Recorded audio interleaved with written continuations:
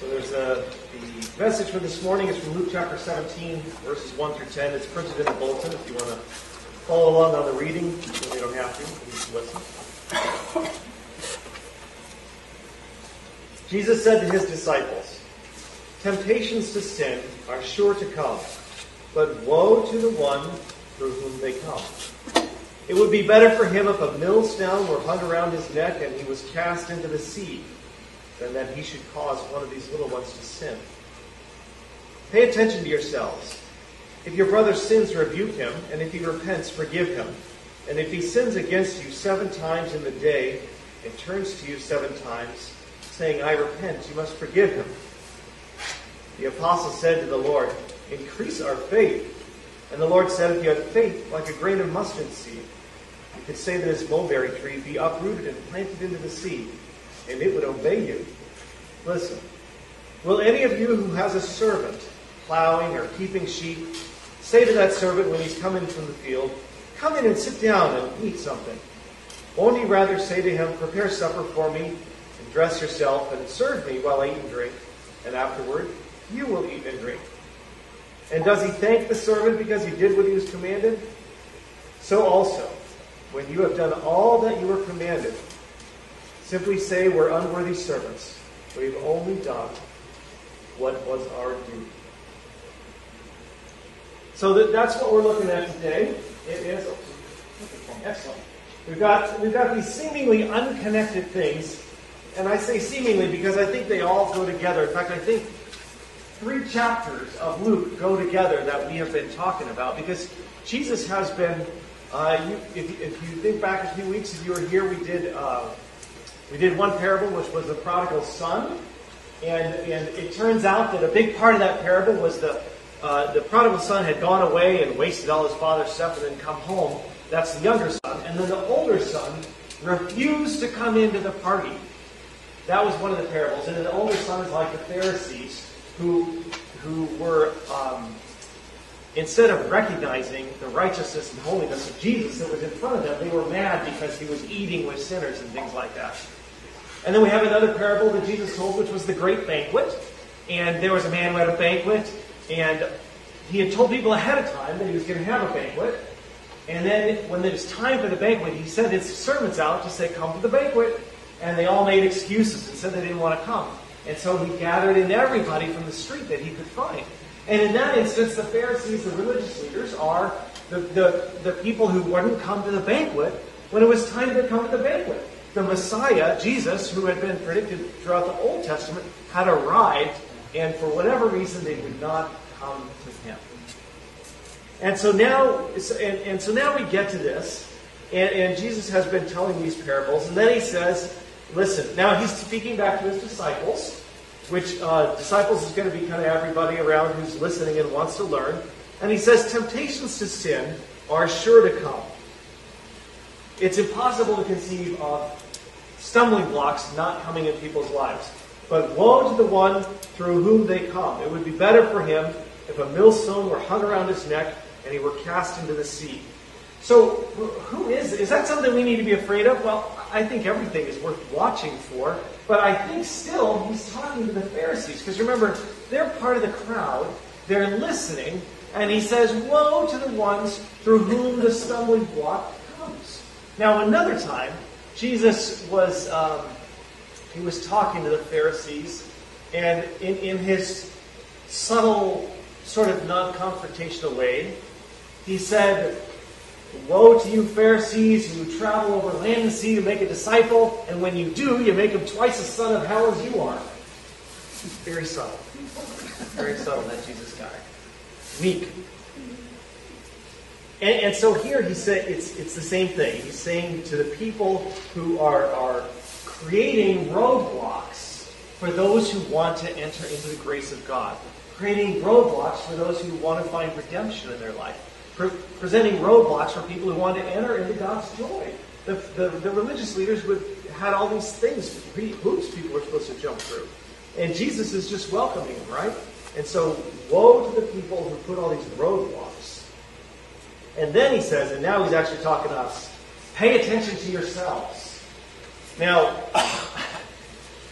That's a great little phrase. Because it, uh, who, who does it say not to pay attention to? Yeah, isn't that great? Pay attention to yourself. I like that. Because that tells me who I'm supposed to be looking at, right? If you, you remember, uh, there was maybe you remember Jesus. Uh, there was another parable where uh, Jesus, uh, a man sowed a field, and uh, and when the grain started coming up, there were weeds with it, and um, the servants in the parable said, "Do you want us to go pick the weeds?" And the master said, "Don't go pick the weeds, because when you pick the weeds, you'll pull up the wheat too." And then Jesus said, "It's like that. Don't don't it's not your job to go figure out who's wheat and who's weed. Pay attention to yourself. You are the one for whom you are responsible. Pay attention to yourselves. And then he gives us this thing.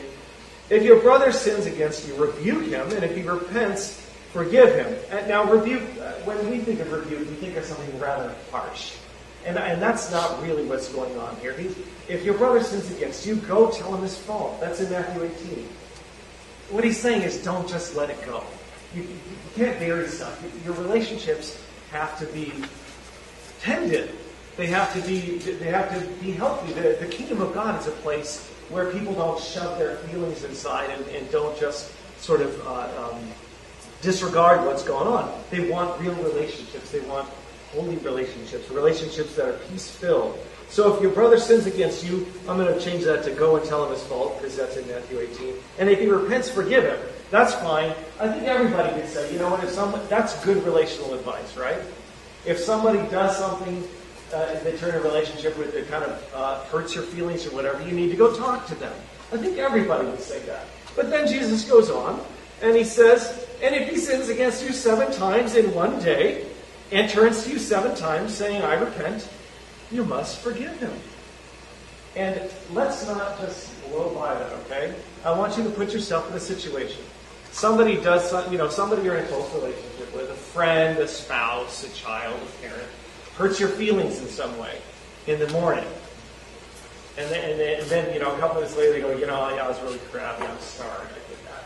Sorry I said that. And then about, it's Saturday, so everybody's home. And about 10 o'clock, they do the same thing. That's two.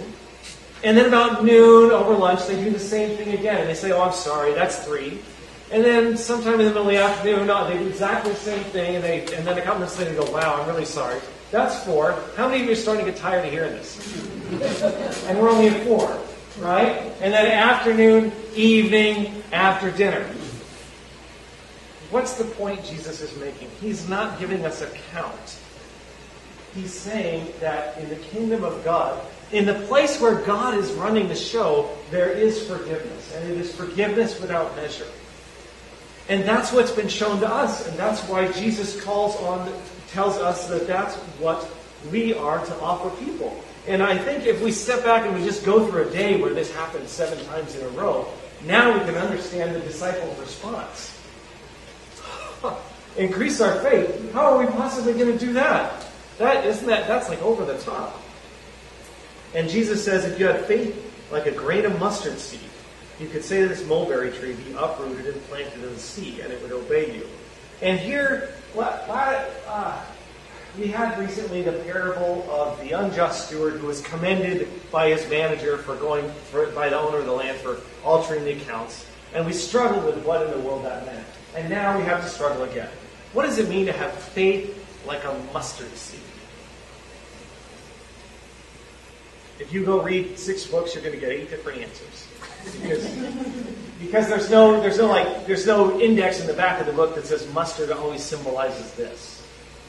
But the thing is, the thing that's true that, that you can't get away from is the size. A mustard seed is very small. It may not be the very smallest seed, but it's tiny. And so Jesus is is definitely, regardless of what he's getting at with the mustard seed, he's definitely saying it's it's um,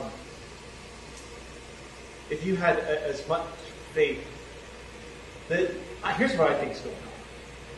I think a mustard seed is all faith. A mustard seed does what the mustard seed does. The mustard seed doesn't do six different things. A mustard seed gets planted, it germinates, it takes in sunlight and water and nutrients from the soil and grows. So a, a mustard seed feeds on the things it's supposed to feed on, and it is all faith. It just lives. The mustard seed uh, is an example of faith because it's tiny and it just feeds on what it's supposed to feed on, and then it grows into a big bush. But another place, Jesus uh, used a mustard seed to talk about the kingdom of God like that. And he said the kingdom of God's like a mustard seed. It starts out very tiny, but you plant it, and it grows into a big bush that the birds can come and rest in. And so, so here he's telling us that, that forgiveness, it's a tiny thing, day by day, one by one, right? You, usually the things we have to forgive are tiny things one by one. But as we forgive over and over and over again, they're going to grow. And that's where the kingdom of God grows. That's where God rules. God rules where there's grace and forgiveness, not where everybody sits up straight and follows whatever booklet, you know, the particular denomination has put out. God rules where there's grace. And then he gives us this parable, uh, um, this last one. And he says, now, he says now, basically what he's saying, listen, this is how you're going to be. And when you do this, it's just what you ought to do. This is just you, are not. This is not like this is not the great effort for which you're going to get a cake when you come into heaven. This is just the way it is. This is the way people who follow God and want to be part of His kingdom act. He says, "Listen, will any of you who has a servant, if, if you have a servant and they they're out in the field and then they come in, do you say, "Oh, come on in. That was a rough day. Why don't you sit down? I'll get you something to eat." No, that's that's not the way a person with servants acts, I guess. I've never had a servant, so I don't know. Um, my kids think they are, but I think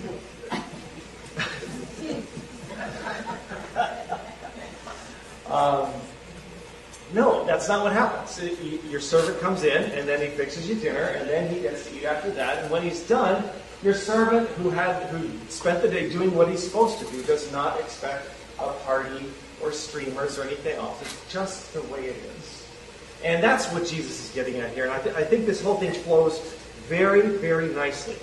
Because I think it starts out with the, the Pharisees who put all these barriers up for people that, to, to, that they think are barriers to people entering the kingdom of God. You know what the council in Jerusalem said to the early Christian converts who were not Jews? uh, they, there were people who were not Jews coming into the Christian church, and they wrote to the council in Jerusalem and said, What should we do? What kind of things do we need to do? Give us a list. And the church in the, the church in Jerusalem, like, ah, I don't know. We're not really into lists. I mean, the whole point is not the list. The point is the love. Let's see. Um, you should probably don't eat meat sacrificed to idols and, and, and stay away from like blood stuff and strangled animals and, and avoid sexual immorality. That seems like a good list. You do that, you'll be fine. Now that's a little smaller list than the, than all the the, uh, the commands and, and, and, instructions that the Pharisees had about how many steps you could walk on the Sabbath without violating the law and all that stuff. And, so that's that's where we go with this. Is it, we watch out for the spirit of the Pharisees because it can sneak up on us. This legalism, this idea of the things people need to do, can sneak up on any of us. And the longer we're in the church, the more that can happen. And it can definitely happen with things like rituals and, and forms of worship and ways we pray and all that stuff. And, and that's all, the, our rituals and our forms of worship are there like, um, like a trellis. They're there to support our faith, but they're not there to command our faith. Uh, um, the service has a certain structure that's been the structure for 1,500 years, and, and but it's that because it works, not because it's a command of God to do worship that way. There is no command of God to do worship any way except in spirit and in truth. All this other stuff are traditions that have developed that have people, uh, Christians, have found useful over the years, and that, that's why we do them. So we got to watch out for the Pharisees. And then the second thing is so so if you don't want to be like a Pharisee, instead of standing up as a commander, if there's a rift, you repair it. If it's a rift seven times in one day, you go repair it. You seek to reconcile those relationships. You don't just walk away from things. And when someone will reconcile, you be reconciled to them. This is, in fact, uh, let's see where it says, if he sins seven times in a day and turns to you seven times and say, I, I repent, if the translator here says you must forgive him. But it, what it really says is you will forgive him. You will forgive him. It's almost, it's, it's kind of a command, but it's almost just a description of someone who's walking with God. It's actually the same thing, by the way, going on with the Ten Commandments. If you, if you get into the grammar of the Ten Commandments, it doesn't actually say, thou shalt. It's like a command. It says, you will. You will not steal. You will not commit adultery. You will not bear false witness. So there's sort of a command aspect to it, but there's also this aspect to it of when you are uh, living a life that is seeking God. This is this is a this is simply a description of the way you will live. And and, and so we get through this, and and we see Jesus once again with the same thing he's always Repent for the kingdom of God is at hand. What is the kingdom of God? It's where God's way rules. And what is God's way? It is repent. It is love and redemption and peace and reconciliation and, and, and not standing up with your rules, but rejoicing when people are reconciled and being willing to take the risks. That's why it takes faith. And this is this is kind of the point here, I think, is is that listen the first time somebody repents, let's at breakfast they do that thing that hurt their feelings or whatever, or, or, was wrong or whatever, they, they repent and you say, I forgive you. That's fine. You move on. That seems normal. The second one, the third, I think most of us would say by three times in one day, we would say, you know what? Why don't we hold off on that reconciliation? Let's just see if this is going to stick, right? And, and that's not what Jesus says. And the reason is and the reason the disciples say increase our faith is because by that point, you have lost faith in the other person. You can't tell me it's not true. If someone does something three or four times in one day and keeps coming back and saying, I'm sorry, I'm sorry, you're like, how sorry are you? Really? How sorry are you? I have no faith in you that you're not going to do that again. So what faith do you need? You need faith in God. That's where you get the faith to forgive other people. It doesn't come from them because they are not worthy of it, because sometimes they, they are going to hurt you again. Your faith to forgive other people, your faith to reconcile with other people, your faith to go to them and say, you know, uh, this stands between us. That's, that's not going to come from your faith in the other person. That comes from faith in God. Because God says this is the way to live, and it will work out. This is the way to live. And sometimes, and, I'll tell you, it would seem, it, it would seem either uh, Pollyanna-ish or just plain stupid to forgive somebody that seventh time in a worldly sense. But God says this is the way to in forgiveness and love. And that takes faith in God. That's the life that God calls people to live. That's, the, that's where the kingdom blooms where there's enough faith in God to forgive other people who don't really seem to merit forgiveness at the moment. That's how we walk in the love and the peace that God has for us. The verse at the bottom here is one of my favorite verses, Galatians 5, verse 6. It says, For in Christ Jesus, neither circumcision nor uncircumcision counts for anything. And that's code for the whole law. But faith working itself out through love. And that's the way it looks in the kingdom. Faith, faith enough to continue, continue, continue to reconcile relationships in love. Let's take a moment to pray. Father in heaven, we want to thank you uh, for the chance to be here this morning, for the chance to hear from your word. Uh, Father, I am so, let me just say, I'm so grateful you're not a Pharisee. Um, because I, I, read about the Pharisees and all their laws and having to count steps and, and, and, and weigh out my spices to tithe. And, and Lord, that if that was the path you have given us to peace, I would be left in terror because I've never made it. And so I'm just so grateful that you have given us your way and shown us that your way is not that way. That your way is love and forgiveness. Father, you have been so, you've been loving to us and sending Jesus to be our Savior. Loving beyond measure. Help us to take your love into our hearts so that as we live in our own little ways when we are uh, separated from others, we can be forgiving in our little areas of life as you have been forgiven to the entire world. In Jesus' name.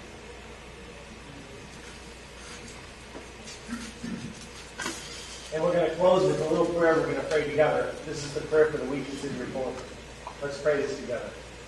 Father, give me faith in you, strong enough to forgive others. In Jesus' name.